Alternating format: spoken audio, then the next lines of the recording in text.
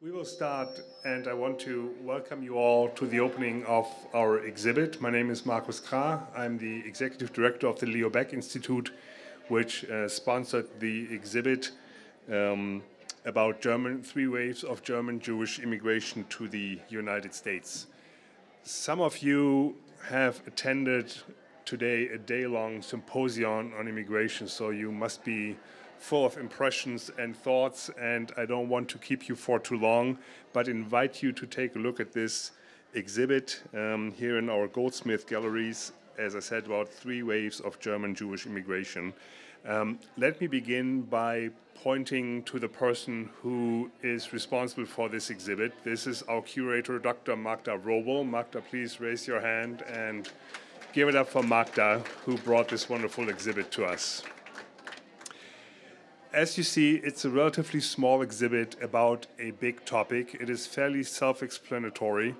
If you have any questions about the exhibit, you know, Magda is here. And starting April 15th, there will be also guided tours by docents. So if you want to come back and have more questions on this, um, stay tuned for that. Much of what you can see in the exhibit is based on what we at LBI have in our archival collections. For those of you who don't know, the Leo Baeck Institute was founded almost 70 years ago in 1955 by a group of German Jewish refugee intellectuals who felt the urge to preserve and promote German Jewish history and culture. So they created the Leo Baeck Institute in 1955, assuming that they would write the final chapter of German Jewish history, that this might take 10 years or so, and then the work would be done things turned out differently. So it's been almost 70 years, and we are still here. And our impression is, and I hope you share it, that preserving and promoting the history of German speaking Jewry has become ever more important over the past decades, um, which is why we offer exhibits like the one you are seeing, why we support scholarships to, uh, for scholars to work in our archives which is why we keep collecting material. We digitize all the materials we get. Whatever you are interested in in German Jewish history, go on lbi.org and hit the uh, type what you're interested in into the search field, and chances are that you will come up with a number of hits. We have almost 5 million digitized pages of archival material, family collections.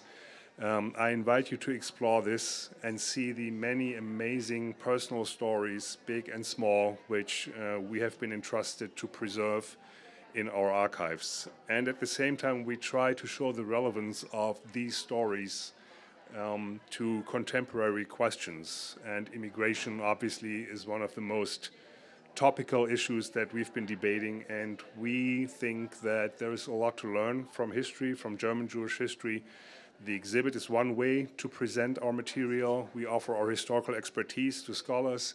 We have a podcast which tells the stories of German Jewish German Jews in exile. That's the title of the podcast, narrated by Mandy Patinkin.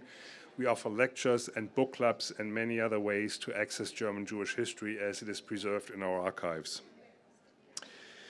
The exhibit, which you can see today, focuses on some of the lesser known aspects of these voyages of German Jews to the United States. It focuses on the decision making processes, the practicalities of immigration, the transnational contacts people had or did not have before they came to the US, which could have made all the difference um, about their fate.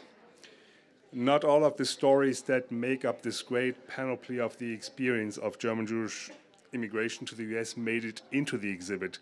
Let me just share one more story with you, which to me illustrates the, the, the tragedies, the craziness, the weirdness, the excitement of these processes. One of our board members recently came across a, an article in the New York Times which was dated June 13, 1936. The title is Radium Vanishes on Voyage Here. Dr. Ludwig Heine tells police $4,500 worth disappeared from his luggage.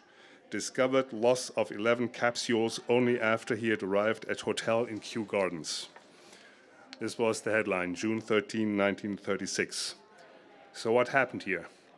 What happened is that given the restrictions of what Jews leaving Germany at that time could take with them, Dr. Heine, the grandfather of our board member, who was a medical doctor, decided to take radioactive radium on his trip.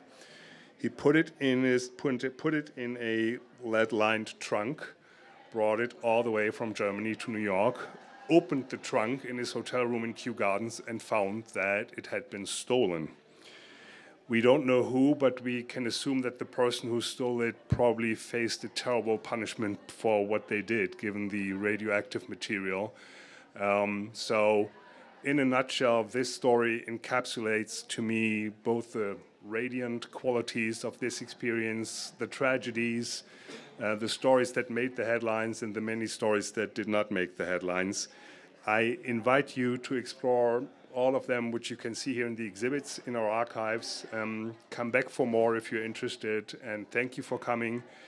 Please take a look at the exhibit, and when you're done, there are refreshments both on this floor and downstairs. Thank you all for coming. Welcome to LBI.